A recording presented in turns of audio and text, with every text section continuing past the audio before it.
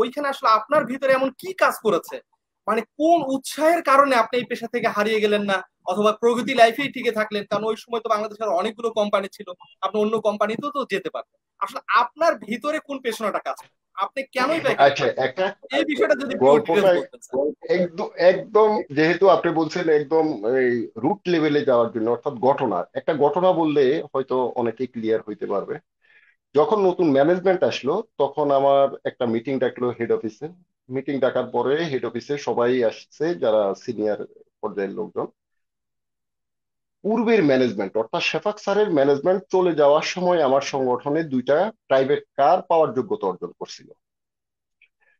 তো যেহেতু উনি চলে গেছেন মিড টাইম সিসি হিসাবে কিছুটা স্বপন স্যার ছিলেন।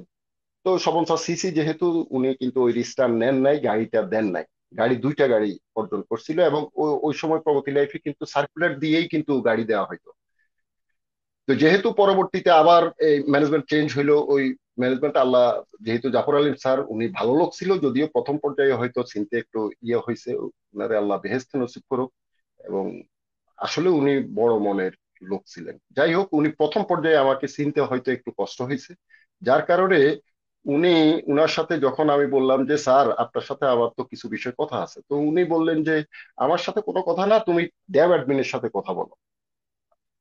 পরবর্তীতে ওই দিন রাত্রে আমি ঢাকায় ছিলাম। ফাঁকে দিয়ে আরেকটা কথা সবাই উদ্দেশ্যে একটু বলি। আমার মেট্রিকের পরে যখন ঢাকায় এসেছি, দুই এক সাল পর্যন্ত আমার ঢাকায় কিন্তু থাকার ব্যবস্থা ছিল।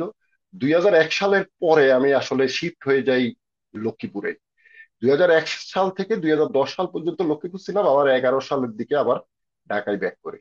এই, তো যেহেতু ওই সময় আমি এই লক্ষ্মীপুর ছিলাম, যার কারণে ঢাকায় থাকার পরের দিন স্যারকে আবার আমি ফোন দিই সকালবেলায় যে, স্যার, আমি অমুক, আপনার সাথে আমার কাজের ক্ষেত্রে কথা আছে ঠিক আছে, তুমি অফিসে আসো। অফিসে গেলাম, যাওয়ার পরে যখন দরজা নক করলাম স্যার বলে যে তোমার সাথে আমার কি কাজ আছে? আমি বললাম, স্যার আপনি তো ফোনে বললেন যে, ঠিক আছে, আসো, অফিসে আসো, তোমার সাথে কথা আছে। বলে যে, না, তোমার সাথে তো আমার কোনো কথা নাই। আমার একটা ল্যাঙ্গুয়েজ মনে পড়ে। আমি তখন বলছি যে, স্যার, আমি যদি প্রগতি লাইফে থাকি বা কাজ করি এবং আপনি যদি কোম্পানির এমডি থাকেন, তাহলে কাজ আছে। দুইটার, একটার বিঘ্ন ঘটলে কোনো কাজ নাই। এই কথা কীভাবে আসছে আমার মনে, আমি জানি না, এখনও আমি মানে তখন এই এই ল্যাঙ্গুয়েজটাই ব্যবহার করছি। তো এটা যখন ব্যবহার করছি, উনি ইন আমার খবর জানছে, হয়তো রাগ বেশি, এটা ঠিক আছে, কিন্তু সংগঠক হিসাবে কীরকম মনে আছেন অবশ্যই ভালো, যেহেতু উনি আমার এটা এক্সপ্রেস করছে একটা সময়। তো পরবর্তীতে উনি আবার আমার উঠে হাতে করে আর ডেভিড নিয়ে গেলেন। তো তখন ধরেন এই যে বলছেন যে কি কারণে আমি প্রগতিতে থাকি, তখন আমি শেফাক স্যারের ফোন দিছি। স্যার তো এখনও আসে স্যার দেখবে কিনা আমি জানি না। তো স্যারকে আমি ফোন দিই শেফাক স্যার। ফোন দেওয়ার পরে স্যার বলে যে, তোমার আমি এই, ভাইস চেয়ারম্যান রে বলছি, বাবু স্যার ছিল তখন ভাইস চেয়ারম্যান। তো তোমার কথা আমি বলছি, তুমি একটু চেয়ারম্যানের সাথে যাই দেখা করো। আমি বলছি, স্যার, আমি যদি ইন্স্যুরেন্সে কাজ করি, তাহলে সিওর উপরে কারও সাথে আমি আলাপ করব না। কি কথা? ক্লিয়ার সিওর উপরে কোনো ভাইস চেয়ারম্যান বলেন চেয়ারম্যান বলেন, এগুলি আমার দরকার নাই। আপনি আমার পরামর্শ দিতে পারেন, আমি কীভাবে প্রগতিতে থাকতে পারি। যে এখন বললাম যে তখন উনি চেয়ারম্যান হন নাই। তো বলল যে চেয়ারম্যান এই এখন তুমি প্রগতিতেই থাকো, তবে চেয়ারম্যানের সাথে কথা বলে। আমি কি স্যার, আমি এটা করব না, স্যার। আপনি আমার বেয়াদবি নিয়েন না, আমি এই কাজটা করব না, আপনি আমার পরামর্শ দেন।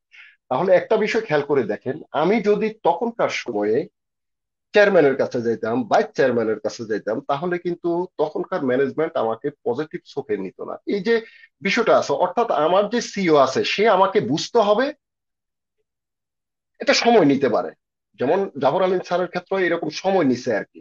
এবং আমার বিশ্বাস ছিল, আমি যেহেতু পূর্ববর্তী ম্যানেজমেন্টের সাথে এমন কোনো কাজ করি নেই, যেটা কোম্পানির অনৈতিক, যার কারণে এই আমার কোনো ভয় ছিল না আর কথাটা বুঝছেন? এক কথায় যদি আপনি বলেন যে কোম্পানি কেন দীর্ঘমেয়াদী, যেহেতু কোনো অনিয়মের সাথে জড়িত ছিলাম না ইনশাল্লাহ এবং ভবিষ্যতে কি হয় আল্লাহ ভালো জানে, তবে এই পর্যন্ত যতটুক আছে ওইভাবে যেহেতু ছিলাম, তাহলে যার কারণে আমি কোম্পানিতে থাকব কোম্পানি আমার। কোম্পানি ডিরেক্টররা করছে এমডি যেরকম চাকরি করে, আমিও এরকম চাকরি করি।